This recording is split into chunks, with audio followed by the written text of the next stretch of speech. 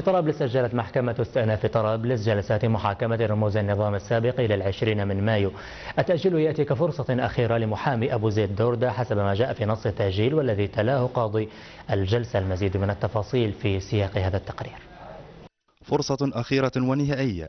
منحتها محكمة استئناف طرابلس لمحامي دفاع المتهم أبو زيد دوردة آخر رئيس لجهاز الأمن الخارجي في النظام السابق وذلك خلال نظرها مجددا اليوم. في القضية المرفوعة أمامها ضد عدد من أتباع النظام المذكور. أبو زيد عمر حميد دوردة. دفاع أبو زيد عمر حميد دوردة. استعد يا أستاذ المتهم دوردة. أبلغ المحكمة أن محاميه تعرضا للتهديد غير أن النيابة العامة نفت ذلك بشدة مؤكدة بأنها لم تتلقى أي بلاغ مكتوب أو شفوي. من المحامين الذين ذكرهم المتهم في هذا الشأن. النيابة العامة اعتبرت تسويق مثل هذه الادعاءات مجرد محاولة لكسب الوقت وإطالة الفصل في هذه القضية. في إطار الدفاع النفسي يقول ما يشاء ولكن الثابت في الأوراق والتحقيقات والتهم المسندة وقرار الاتهام الذي قدمته النيابة العامة للمحكمة والذي يحاكم شأنه حسين دوردا يتحدث عن جرائم جنائية تقليدية لا علاقة لها بالسياسة.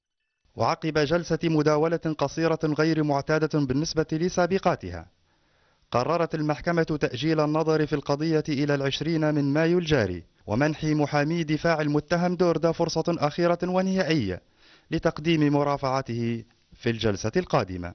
بعد الاطلاع على الأوراق وطلبات النيابة العامة وهيئة الدفاع تقرر المحكمة أولا تأجيل نظر الدعوة لجلسة 20 5 2015 كفرصة أخيرة لدفاع المتهم الخامس.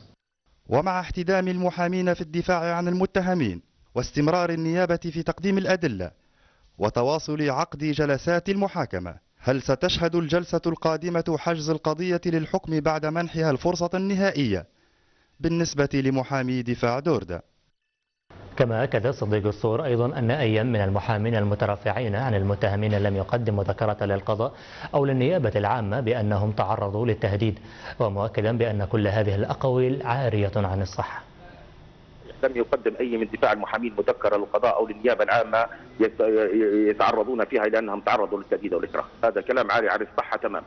الدور يتحدث عن أنه عين أربع محامين أحدهم تنحى ثم الآخر تنحى الآخر تنحى لأنه عضو الآن في الهيئة التاسيسيه للدستور لا يمكنه القيام بأعمال المحاماة. وهو الأستاذ ضو المنصوري المحامي الثالث الدكتور علي الضبع ترافع يترافع عن ثلاث متهمين أحدهم البغدادي المحمودي وهو أنهى مرافعته الشفوية بحقه وقدم دفوعه الشفهية والمكتوبه إلى المحكمة.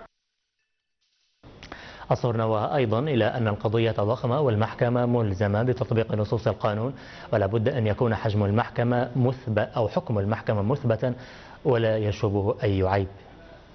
القضية ضخمة وهناك فيها 67 متهم وعمت التراب الديني بالكامل والجرائم فيها كبيرة وخطيرة وتعج بآلاف وعشرات الآلاف من المستندات.